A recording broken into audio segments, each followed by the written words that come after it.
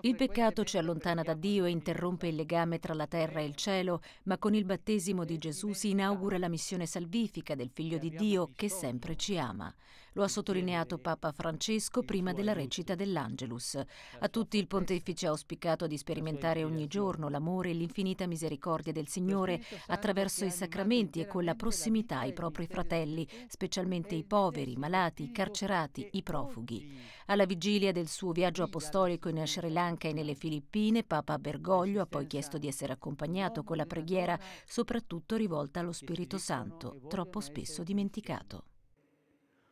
porre sotto l'azione dello Spirito Santo la nostra vita di cristiani e la missione che tutti abbiamo ricevuto in virtù del battesimo, significa ritrovare il coraggio apostolico necessario per superare facili accomodamenti mondani. Invece un cristiano o una comunità sordi alla voce dello Spirito Santo